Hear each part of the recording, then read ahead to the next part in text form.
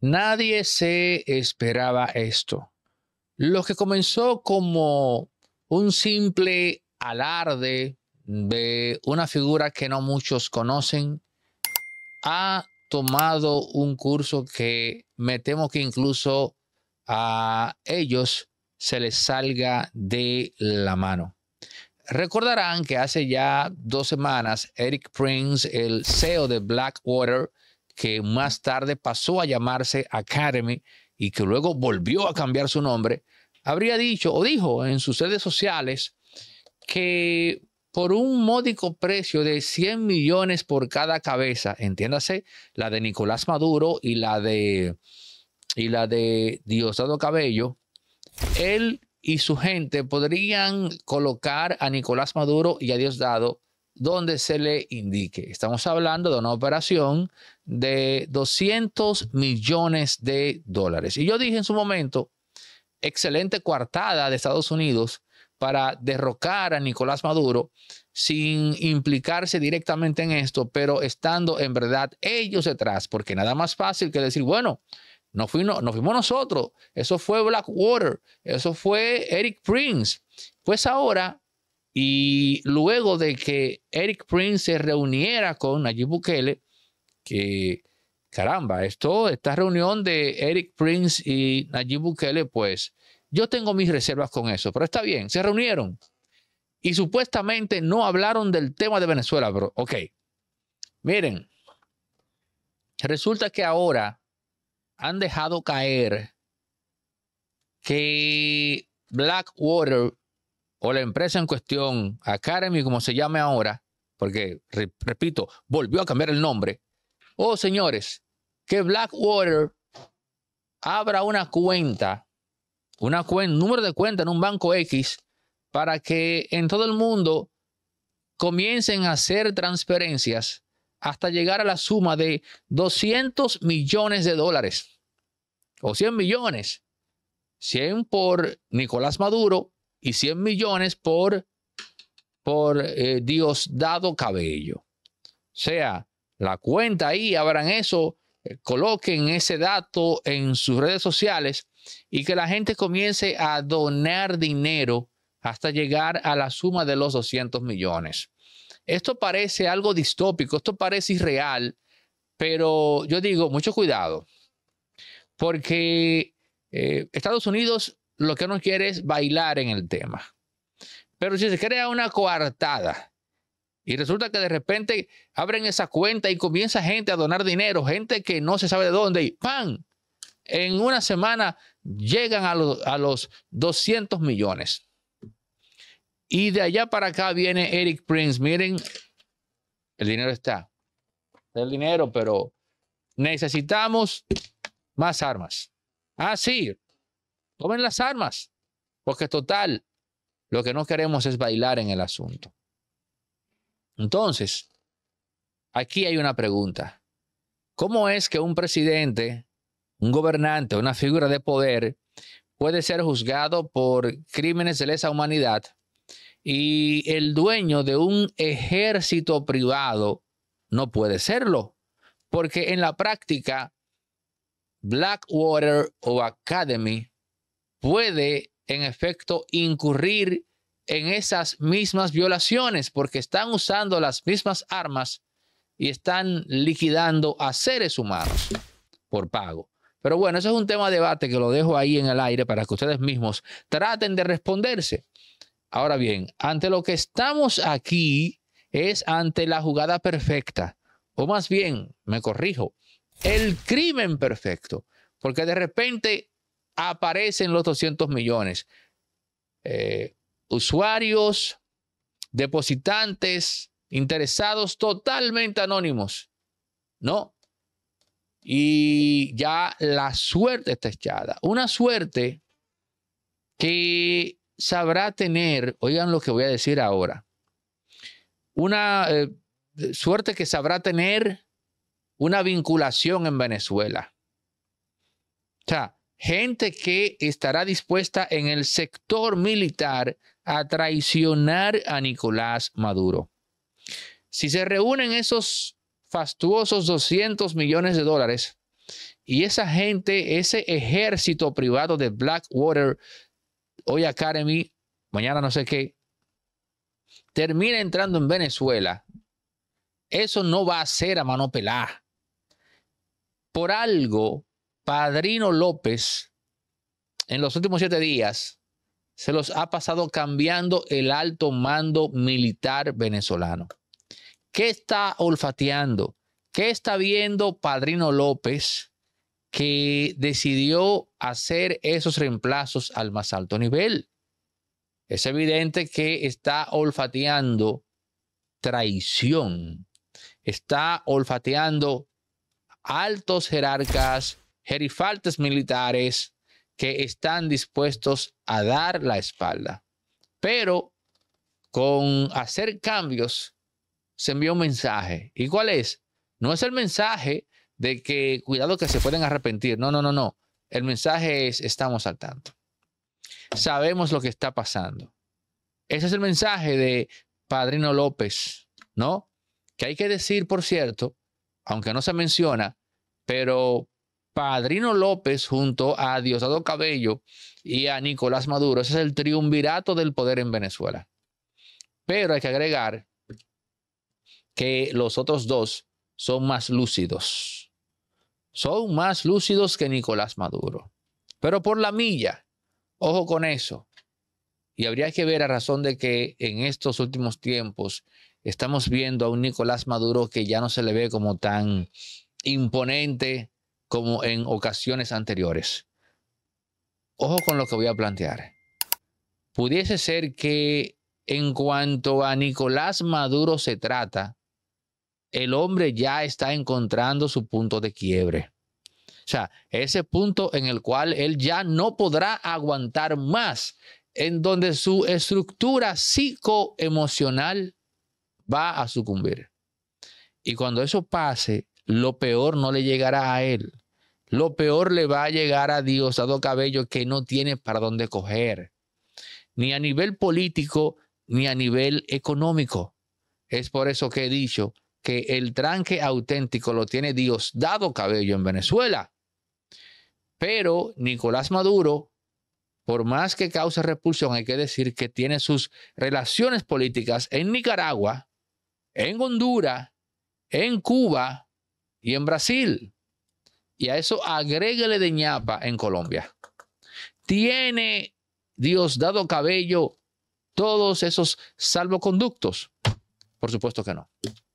Ahí hay un tranque. Ahora bien, que se esté tratando con semejante ligereza que Eric Prince pueda recibir 200 millones de dólares en donación y que con este dinero ponga en marcha un plan para derrocar a Nicolás Maduro y llevarlo vivo, imagino que vivo, a las puertas del Departamento de Estado.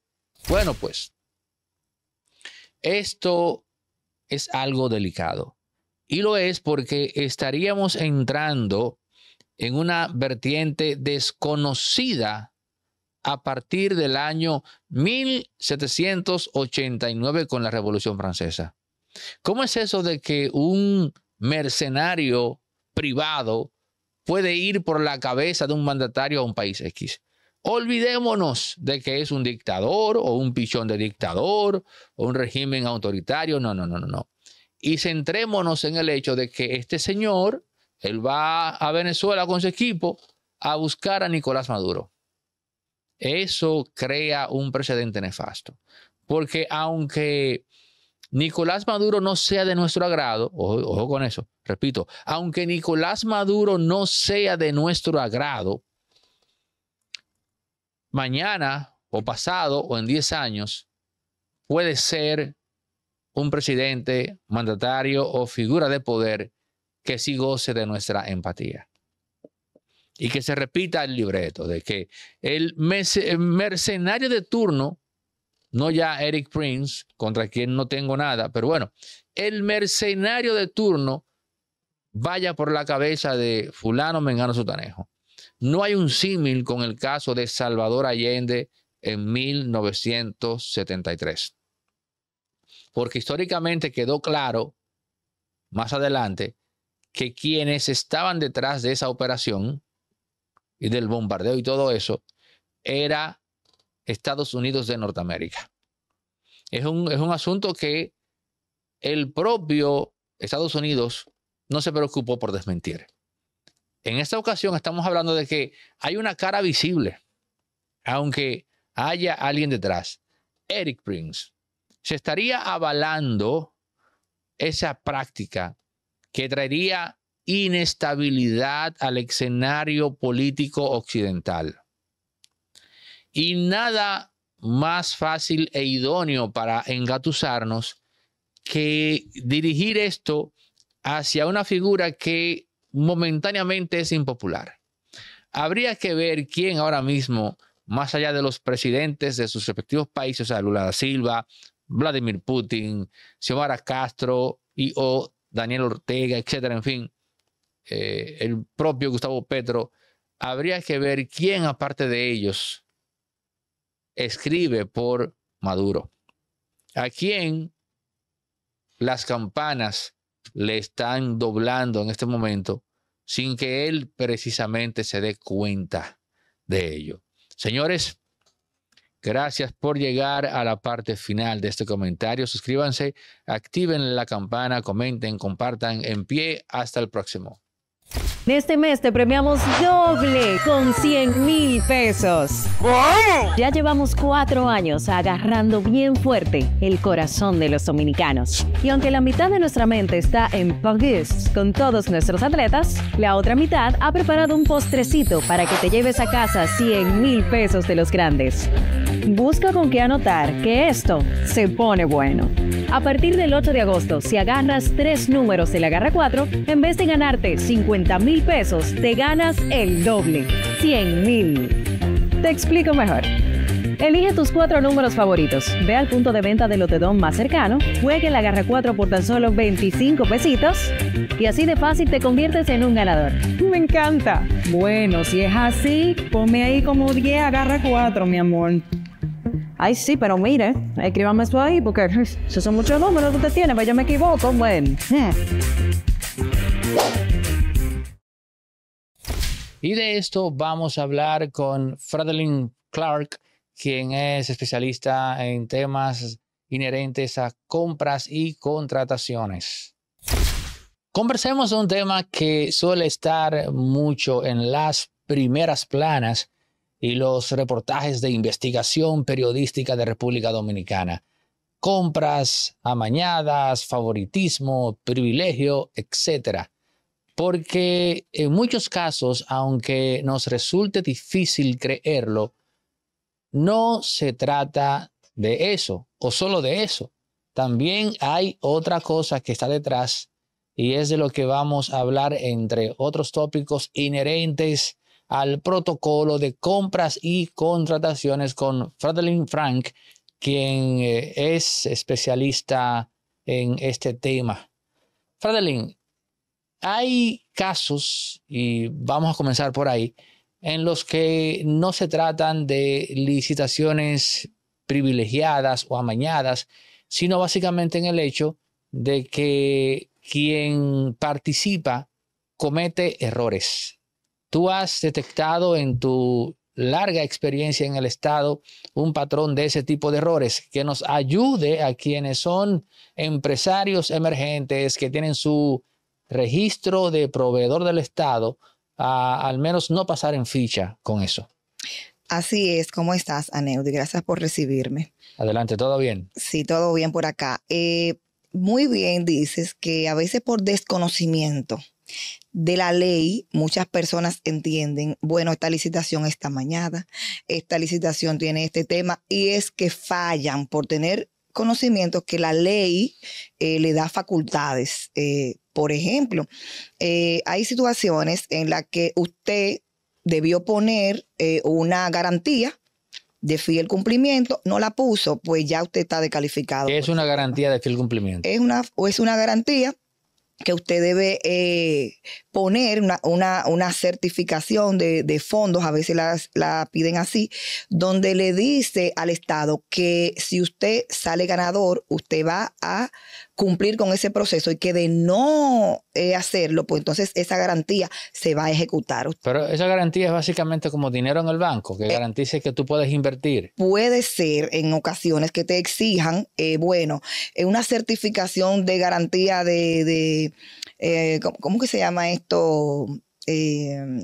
fondos pignorados, fondos disponibles. Puede ser, no puede ser de que yo te exija un monto específico, eh, tenerlo ahí disponible eh, por un cheque certificado, vamos a decir, administrativo, que si tú no cumples con las exigencias de, de este proceso que hubo en el pliego de condiciones, pues nosotros te vamos a sancionar como haciendo valer esta certificación. O sea que tú puedes perder dinero en el proceso. Claro que sí. Eso es importante que, que se sepa puedes perder dinero en el proceso. Ahora, cuando se trata de, por ejemplo, eh, tiempos, ¿qué tan rígido es el tiempo o los tiempos que se exigen en, una, en un proceso de licitación? ¿Es, es letra en roca o hay flexibilidad en, en, por ejemplo, los tiempos que se te piden para entregar distintas documentaciones? Eh, bueno, lo que pasa es que la ley es específica y depende de la urgencia, depende de la necesidad que tenga la institución, pues eh, determina los tiempos eh, a seguir. Te dice la ley cuáles tiempos a seguir, pero si es un proceso, por ejemplo, de urgencia, pues la ley te permite acortar esos tiempos. No creo que, sea muy exigente ni que tenga mucha burocracia porque te da los tiempos eh, flexibles a tu participar. Ahí estamos hablando de las eh, licitaciones de emergencia que dado la premura que, se está, eh, por ejemplo, en un hecho que es un ciclón un hecho, un desastre natural, en donde se requiere de inmediato todos esos, qué sé yo, elementos, imaginemos eh, medicamentos, en fin, ahí pues ya la ley no es en absoluto rígida. Ahora, fuera de los procesos eh, de emergencias, también hay, si se quiere, medidas excepcionales que podrían ser vistas como un privilegio. Yo recuerdo que cuando se habla de licitación, se requiere eh, X número de gente participando o empresas, pero cuando se hace una exigencia peculiar, el Estado o quien está buscando ese suplidor lo elige al vuelo. Es decir, si tú eres el único en el mercado que puede garantizar eh, importar un dispositivo X o, un, o un chip dentro de un dispositivo también, Sí, la ley, esos casos. la ley hace excepciones eh, y en los diferentes casos hay procesos exclusivos y hay, y hay procesos de suplidores únicos. Eh, la ley prevé y contempla esto ya que no es una violación, sino excepciones que se dan por casos puntuales. Por ejemplo, eh, cuando tú tienes un proceso de exclusividad, tú tienes un mínimo de invitar de cinco personas que tú sepas que son lo que pueden dar este servicio. Pero cuando esta excepción por proveedor único, tú puedes directamente elegir a esa persona mediante eh, la utilización de esa, de esa cláusula o de esa excepción en la ley. Eh, en este caso, dijimos que íbamos a, eh, quiero hacer esta mención al tema de los artistas y de los medios de comunicación. Por ejemplo, eh, hubo un caso en el que se entregaron aquí unos fondos a diferentes artistas y la gente lo vio muy mal porque eh, eligieron, fue muy criticado, porque eligieron a, X artistas y le entregaron fondos. Lo único que hubo mal ahí fue la implementación del proceso, o sea, no se cumplió con el proceso que debió ser, pero sí la ley hace excepciones a que son proveedores únicos. Eh, los artistas, Sergio Vargas es el único Sergio Vargas que existe. Y si tú haces un informe donde tú puedas dejar descrito que tú quieres en una X fiesta la contratación de Sergio Vargas, él es un proveedor único, calificado, certificado, con una experiencia vasta, entonces tú puedes hacer ese tipo de excepción. Por igual con sus colegas. Por igual con todos. Entonces, todos los artistas. Ahí no hubo entonces un caso de corrupción. Eh, lo que hubo fue una mala acción a la implementación de la ley. No se cumplió con el proceso que debieron llevar. Ellos debieron hacer una publicación donde indicaban bajo un proceso administrativo que estaban empleando el proceso de excepción por proveedor único. Ahí se cometió entonces eh, una ligereza. Una falla. Ok, ¿cómo podemos eh, detectar o cuál es eh, ese elemento que se convierte en una huella, en una impronta de que estamos ante un proceso amañado? Bueno, hay un pliego de condiciones que se da. Y cuando, por ejemplo, tú ves que hay un proceso que yo quiero comprar eh, X equipo técnico, pero la ficha, la ficha que tú estás eh, emitiendo con las especificaciones técnicas corresponde específicamente al teléfono iPhone. Entonces ahí yo puedo detectar, bueno, pero tú no me estás poniendo que tú quieres un celular, que tenga cámara, que tenga esto. Tú me estás poniendo que quiere que la cámara sea X, que el sistema que sea X, que tenga X. O sea, y todo lo que tú me estás eh, sugiriendo lo tiene solamente el teléfono iPhone. Tú estás direccionando un proceso para que sea el teléfono iPhone. Pero la ley te dice específicamente que tú no puedes cometer ese tipo de fallas, ese tipo de errores. Es decir, cuando vemos un proceso que en su TDR o términos de referencia es tan pero tan específico, tan pero tan escueto, que nos deja la impresión de que se está procurando dirigir ese proceso. Así es. Ok, ahí tenemos entonces un caso. ¿Cuál figura en compras y contrataciones? Tenemos al director del departamento financiero o contabilidad tenemos al director de informática, tenemos al director del departamento jurídico y tenemos propiamente al director del departamento de compras. En un entramado eh, donde hay algo que quizás eh, no esté tan legal que se digamos, ¿quién es el indispensable? Bueno. porque el director de compras que quiera participar en eso, pero bueno, hay una pata ahí, o es el financiero, o es la informática, o es el jurídico. Eh, ¿Qué te digo? Mira, el encargado de compras está para conjunto a su equipo preparar un proceso. Ellos no tienen que ver con, la elección del suplidor. El departamento de compras simplemente prepara el proceso y luego de recibidas las ofertas esto pasa a un comité de compras, donde el encargado de compras no es parte. Ahora, el de legal es parte. Eh, el financiero, si es administrativo y financiero en la institución, es parte del comité de compras. Pero eh, el encargado de compras ni el de contabilidad tiene nada que ver eh, en estos procesos, salvo, salvo que pues pueda pasar alguna información, cometa la imprudencia de pasar. Ah, pues entonces el jurídico. El de departamento no, de jurídica. No, no, no, no, no, no estamos señalando a nadie, pero te quiero decir que el encargado de compras de ninguna manera, de ninguna manera tiene en sus manos la elección de, de un proveedor. ¿Funciona realmente la transparencia pública? Entiéndase el hecho de que un ciudadano cualquiera pueda ver, eh, digamos, el proceso de compras, por ejemplo, el pliego, el TDR o términos de referencia, que sepa quiénes están participando, a quién finalmente se le entregó.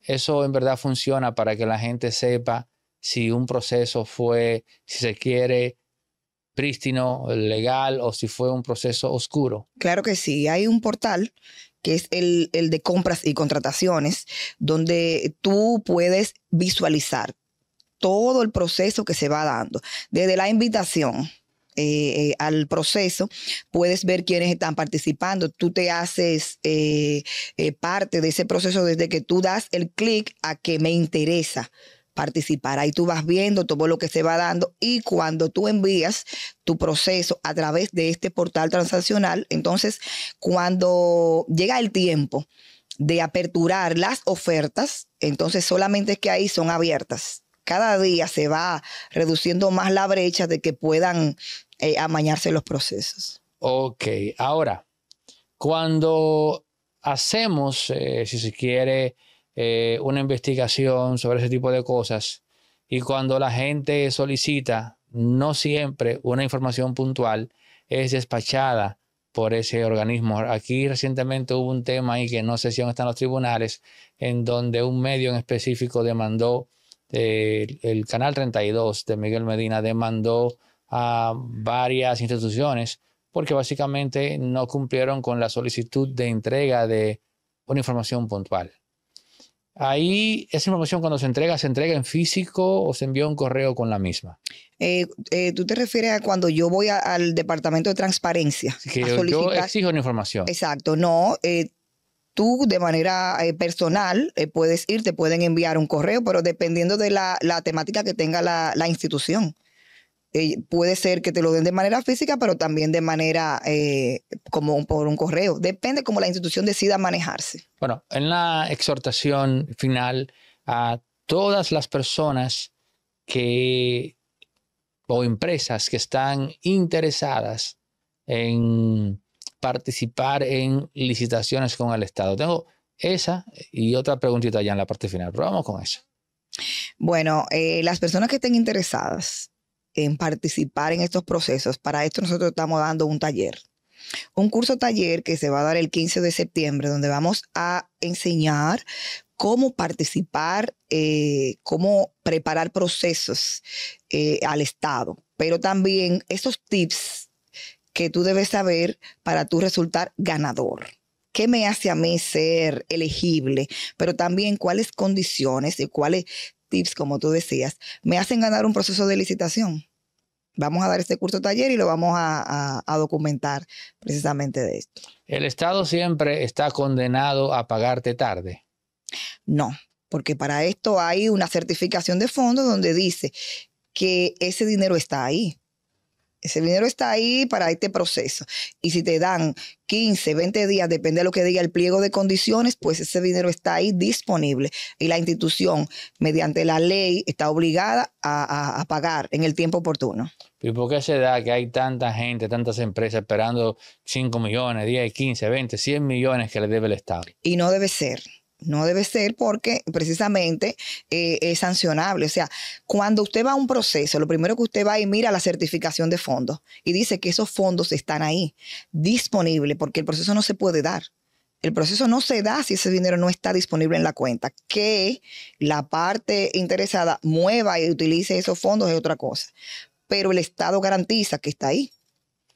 Ok, vamos a ver, porque esto, es interesante. O sea, tú dices que mueven los fondos. Puede ser, puede y Se puede mover un dinero que estaba para un proyecto y destinarlo a otro proyecto. No existe un candado para eso. Se supone que para impedir eso. Se supone que la ley te dice que ese dinero debe estar disponible, está ahí disponible. No puede ponérsele la mano. O sea, la empresa puede tardar un poquito porque no me haya llegado, ¿verdad? Pero cuando tú inicias el proceso, está ahí la certificación de fondo. Y yo tengo en el sistema eh, grabado que está ahí. Yo la imprimí para participar en el proceso. Dice que el dinero está ahí disponible. O sea, no debe tardar. Son 15 días, 15 días. Fradalin, pero tienes algo en especial con los artistas. Coméntanos sobre esto. Artistas que están interesados en ser contratados por el Estado. Así es. Eh, la ley te da excepciones y las personas solamente se han enfocado en que las pymes, las pequeñas empresas tienen esa excepción.